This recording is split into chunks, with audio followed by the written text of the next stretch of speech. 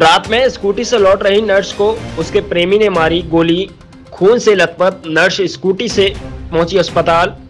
आपको बता दें कि ताजगंज क्षेत्र की रहने वाली नर्स मुस्कान पार्थ सारथी हॉस्पिटल में कार्यरत है।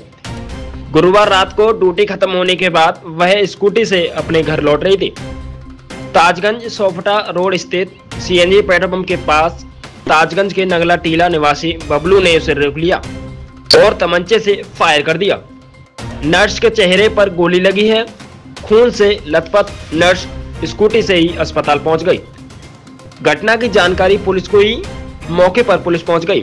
अब देखने वाली बात यह होगी, पुलिस मामले में क्या कुछ कार्रवाई करती है। देखिए एक रिपोर्ट। दिनांक 12 सितंबर 2024 को 112 के माध्यम से रात्रि लगभग पौने दस बजे एक सूचना प्राप्त हुई कि मुस्कान पुत्री दिलीप सिंह मौर्य, जो काशीराम कॉलोनी, ताजगंज की निवासी है इसको बबलू पुत्र भगवान सिंह मौर्य द्वारा गोली मार दी गई है। मौके पर पहुंचकर जानकारी करने पर पता चला कि मुस्कान को पॉइंट ब्लैंक रेंज से चेहरे पर बबलू द्वारा गोली मारी गई है। पीड़िता को अस्पताल में भर्ती करा दिया गया है। अभियोग पंजीकृत कर लिया गया है। शीघ्र ही गिरफ्तारी की जाएगी। अग्रिम विवेचनात्मक कार्रवाई की जा रही है।